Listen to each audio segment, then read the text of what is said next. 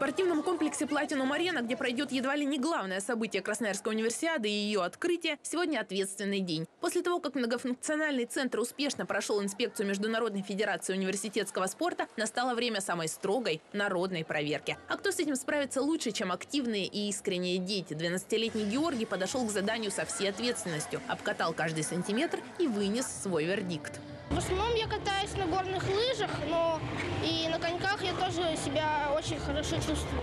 Здесь он получается красивый, большой, мне тут все нравится. Лед безупречный, я бы поставил 6 из 5 баллов. На лед этой арены сегодня вышли дети всех возрастов, приехали целыми командами. Здесь воспитанники горнолыжной, футбольной и скалолазной спортивных школ. Все как один отмечают, наконец-то крытые катки появились практически в каждом районе города. С нашими-то морозами это просто здорово. Здесь очень хорошо, не холодно, лед безупречный, потому что он очень э, скользкий, на него удобно поворачивать, все вот это делать. Мне понравился размер хороший, много можно покататься.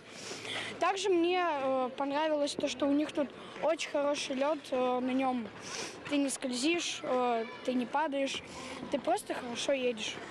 Этот и многие другие объекты универсиады будут работать в открытом режиме до конца января. Их закроют только в период подготовки к студенческим играм и во время их проведения. У красноярцев есть уникальная возможность протестировать лед в Платинум арене еще до того, как на него ступят спортсмены универсиады. Массовые катания работают каждые выходные с половины второго дня. Евгения Шелковникова, Алексей Овсянников, Енисей. Новости.